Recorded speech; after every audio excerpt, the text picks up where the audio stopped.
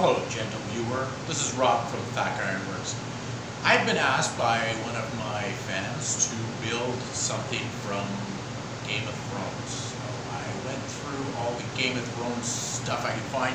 What I came up with was Jaime Lannister's uh, shoulder piece, the Kingslayer. Um, so anyway, I want to do that grotesque lion pauldron um, and demonstrate that from start to finish. So tell me what you think. So in anticipation of that, I sat down at my computer, pulled up some images, and with a piece of clay, I came up with a 3D landscape, if you will, of that shape. So this gives me a visual reference to work with as I get into working the piece, which is going to be made from brass. Uh, so I'm going to start out with a brass sheet, but this is my starting point, a chunk of clay, and about two and a half hours of sculpting to um, achieve this shape. So I'm going to be making it out of brass. I got a piece of uh, 14 or 18 gauge brass sheet here, and I've got a circle which is approximately the right size, a little bit bigger than what the finished shape is there. So I'm going to use that as my cutout.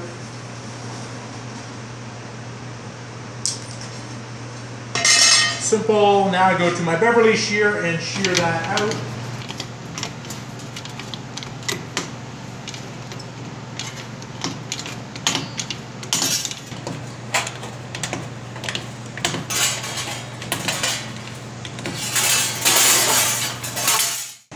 All right, so here is our piece of brass that we're starting with. I now have to dome this um, to get quite a bit of depth. You can see there's a, a fair amount of depth into it. If I was to just dish that, I'm not going to achieve that level of depth. So what I have to do is raise it, which I'm going to do in the forge, which is the process of working from the outside. Anyway, I'm going to start out with just putting a little dome in the center, and then we'll move over to the forge.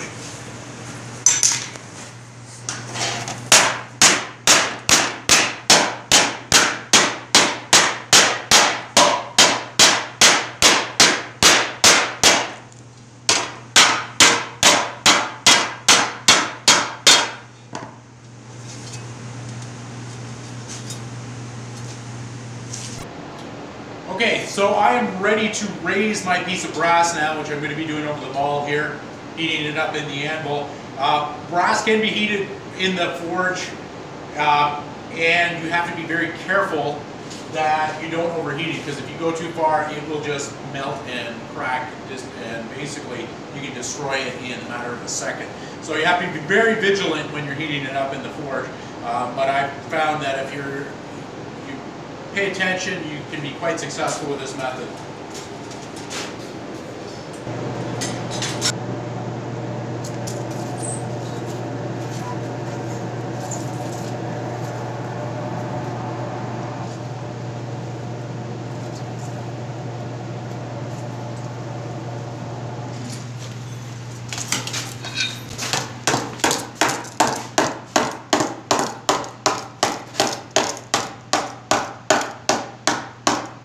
Process of raising, unlike dishing, which stretches the metal, raising actually compresses the metal around the edge so it retains its thickness or actually gets a little bit thicker at the edge.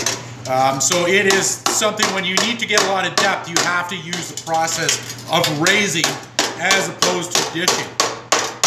Doesn't seem to make a lot of sense right at the beginning here.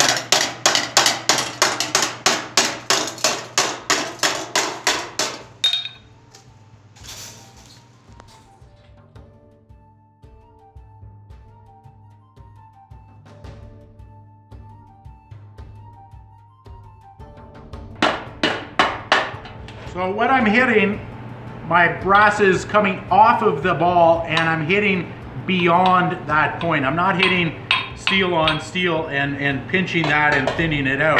I'm hitting just beyond and just nudging it forward. It's a pretty subtle process.